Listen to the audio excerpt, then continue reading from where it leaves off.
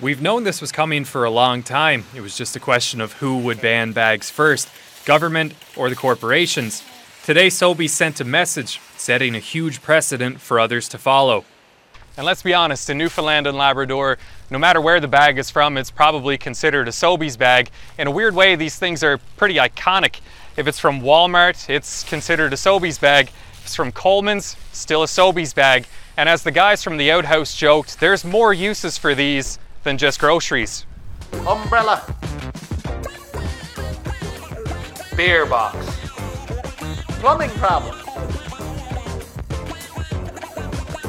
With all their other uses, we asked people what they thought about the ban.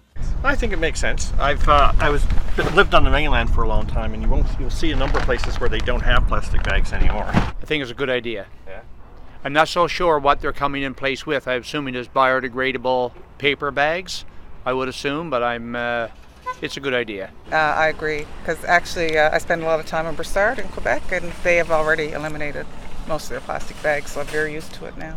Sobeys is hardly the first to take action. Walmart is charging 5 cents per plastic bag, so is Marshall's Home Sense and Winners.